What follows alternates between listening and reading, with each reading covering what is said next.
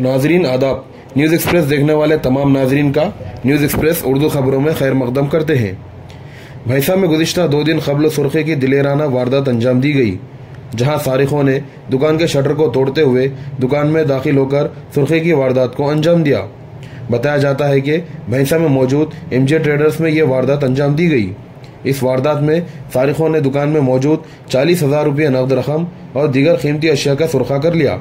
जबकि सुर्खी की मुकम्मल नज़ारा ट्रेडर्स में मौजूद सीसीटीवी कैमरों में कैद हो गया, जबकि ट्रेडर्स मालिक की जानब से पुलिस में शिकायत दर्ज करवाई गई और पुलिस ने एक केस दर्ज करते हुए तहकीक़ात का आगाज़ कर दिया।